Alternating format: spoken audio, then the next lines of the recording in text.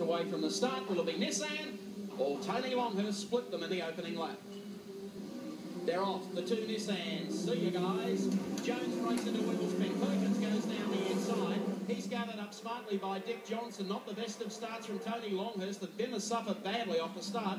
And you'll see the three Nissans.